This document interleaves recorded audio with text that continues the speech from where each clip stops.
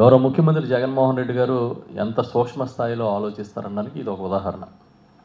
విశాఖపట్నంలో మిగతా జిల్లాల కన్నా కొద్దిగా కేసులు ఎక్కువ నమోదు అవుతున్నాయి కనుక తక్షణమే మీరు వెళ్ళి అక్కడ పరిస్థితిని ఒకసారి పరిశీలించి సమీక్షించరమ్మని మన ఉప ముఖ్యమంత్రి గారికి చెప్పడం జరిగింది. దానివల్లనే హుటాహుటిన వచ్చి ఈ సమావేశాన్ని ఏర్పాటు చేసాం దీన్ని బట్టి సీరియస్నెస్ మీకు అర్థమవుతుందని అనుకుంటా ఉన్నా.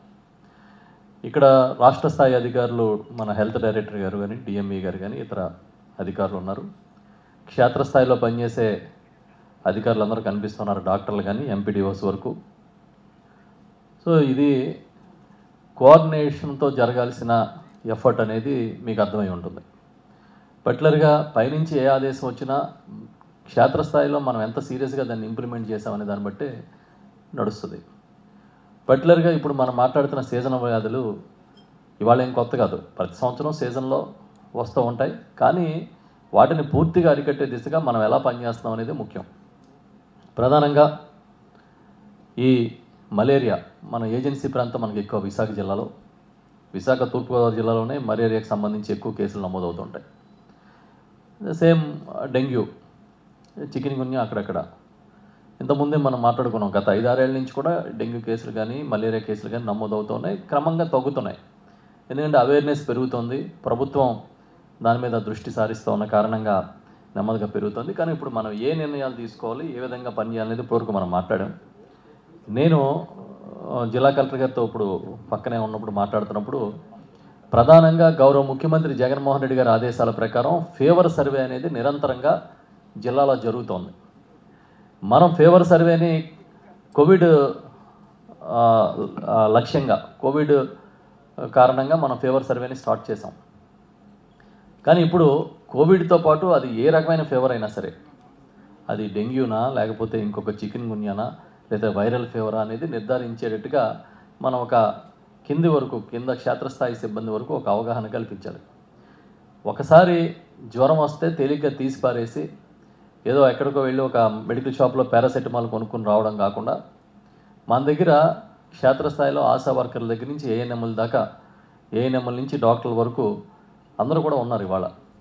వాళ్ళకి పూర్తి అవగాహన ఉంది కాబట్టి తక్షణమే వాళ్ళని ఐడెంటిఫై చేసి ఆ పరీక్షలు జరిపించే కార్యక్రమం మొదలు వారికి తిరిగి మందులు ఇప్పించి పూర్తి స్థాయిలో నయం చేసే వరకు మనం బాధ్యత వహించాలనేది నేను చెప్తా ఉన్నా. పర్టికులర్గా ఈ ఫీవర్ సర్వే పట్ల ఎవరైతే ఫీల్డ్ ఆఫీసర్స్ ఉంటారో మీరు చాలా సీరియస్గా తీసుకోవాలి. గతంలో ఏ రాష్ట్రంలో లేని విధంగా మన రాష్ట్రంలో లేని విధంగా ఇవాళ గ్రామ సచివాలయ వ్యవస్థ వచ్చింది. వార్డు సచివాలయ వ్యవస్థ వచ్చింది.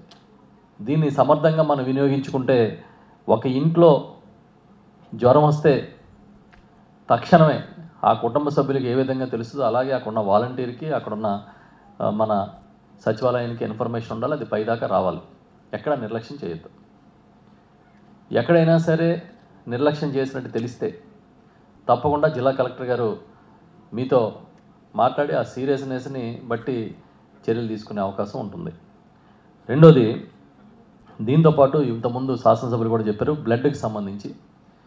మనం ప్లేట్లెట్స్ కానీ అదేవిధంగా ఈ బ్లడ్ బ్యాంక్స్లో బ్లడ్ ఎక్కువ అందుబాటులో ఉండాలని ఇంతకుముందు కమిషనర్ గారు కూడా మాట్లాడినప్పుడు అంత ముందుగా కలెక్టర్ గారు ఒక సమీక్ష సమావేశం ఏర్పాటు చేసినప్పుడు ఎక్కువ బ్లడ్ క్యాంప్స్ పెట్టి వాటి నిల్వ సామర్థ్యాన్ని పెంచుకోవాలనేది కూడా డిసైడ్ చేసామని చెప్తున్నారు. దానికి ఒక షెడ్యూల్ ఇచ్చి అది మీరు రోటరీ లాంటి సంస్థలు చాలా ఉంటాయి. స్వచ్ఛంద సంస్థలతో మాట్లాడి చేయమని నేను రిక్వెస్ట్ చేస్తున్నాను ఇదే కాకుండా ఏదైనా సరే మన దగ్గర విశాఖపట్నంలో వైద్య సౌకర్యాలు అందుబాటులో ఉండడం వల్ల ప్రెజర్ ఎక్కువ ఉంటుంది. ఇక్కడ ఉన్న కేజీహెచ్ మీద ఇతర హాస్పిటల్స్ మీద. సో అక్కడంతా ఎక్విప్మెంట్ పనిచేస్తుందా లేదా? స్టాఫ్ ఏ విధంగా రియాక్ట్ అవుతున్నారని కూడా మీరు ఎప్పుడైనా ఒకసారి సమీక్షించమని చెప్పి నేను రిక్వెస్ట్ చేస్తున్నా. ఇదే కాకుండా మన మేజర్ పంచాయత్స్ మున్సిపాలిటీలు. మనకి ఇక్కడ యలమంచిలి అండ్ నర్సీపట్నం రెండు మున్సిపాలిటీలు ఉన్నాయి. చోడవరం లాంటి మేజర్ పంచాయతీలు ఉన్నాయి. అక్కడున్న సెక్రటరీస్ కానీ మున్సిపల్ కమిషనర్లు కానీ అప్రమత్తంగా ఉండాలి. దయచేసి మీరు నిర్లక్ష్యంగా ఉండొద్దని చెప్పి నేను రిక్వెస్ట్ చేస్తున్నాను పిహెచ్సిలో కానీ అక్కడ ఉన్న వెహికల్స్ అంబులెన్సులు అన్నీ అందుబాటులో ఉన్నాయి లేదని ఐటీడీ పిఓ గారు ఎప్పటికప్పుడు కొద్దిగా శ్రద్ధ పెట్టి మీరే నేరుగా పర్యవేక్షించమని చెప్పి నేను పిఓ గారిని రిక్వెస్ట్ చేస్తున్నా.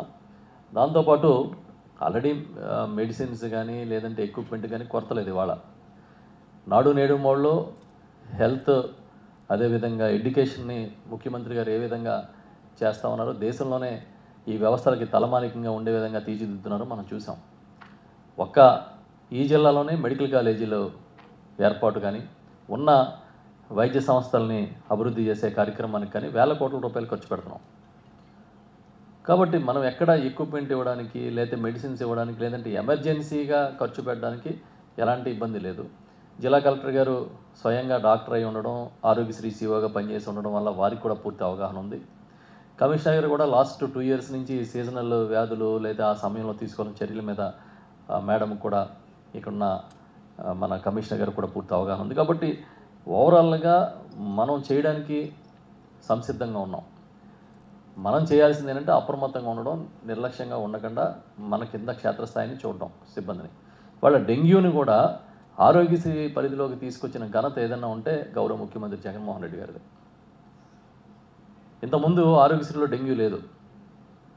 అంటే ప్రతి అంశాన్ని సూక్ష్మంగా ఆలోచించి చాలా ప్రొసీజర్స్ హండ్రెడ్స్ ఆఫ్ ప్రొసీజర్స్ని మన గవర్నమెంట్ వచ్చిన తర్వాత ఆరోగ్యశ్రీ పరిధిలో తీసుకొచ్చారు. సో ఐడెంటిఫై చేస్తే చాలు అతను నిజంగా పేదరికంలో ఉన్నా కూడా తీసుకొచ్చి మనం వైద్యం చేసి పంపించవచ్చు. సో దయచేసి అప్రమత్తంగా ఉండమని క్షేత్రస్థాయి సిబ్బందిని నేను కోరుతున్నా. అదేవిధంగా విలేజ్ సెక్రటరీ సెక్రటేరియట్స్ బాగా పనిచేసే విధంగా కన్సర్న్ ఆఫీసర్స్ ఎప్పుడు ఎప్పుడు కూడా పర్యవేక్షించమని చెబుతూ పూర్తి స్థాయిలో నమ్మకం ఉంది. ఈ జిల్లాలో సీజనల్ వ్యాధుల్ని అరికట్టే విషయంలో మనందరం కలిసికట్టుగా పనిచేయగలుగుతామని పూర్తి స్థాయిలో నమ్ముతూ ఎప్పుడు ఏ అవసరం వచ్చినా కూడా మేమందరం కూడా మీకు అందుబాటులో ఉంటామని చెప్పి తెలియజేస్తూ చాలా తక్కువ సమయంలో ఈ సమావేశాన్ని ఏర్పాటు చేసినందుకు కృతజ్ఞతలు తెలియజేస్తూ ఇప్పుడే నాకు కలెక్టర్ గారు ఒక చాలా ముఖ్యమైన విషయాన్ని చెప్పారు. ఇప్పుడు ఏజెన్సీ ప్రాంతంలో ఏదైనా ఒక ఆపరేషన్ చేయాలంటే ఒక శస్త్రచికిత్స చేయాలంటే విశాఖపట్నం వచ్చి ఏ కేజీహెచ్లోనో మరో హాస్పిటల్లోనో జాయిన్ అయ్యి చేయించుకునే పరిస్థితి.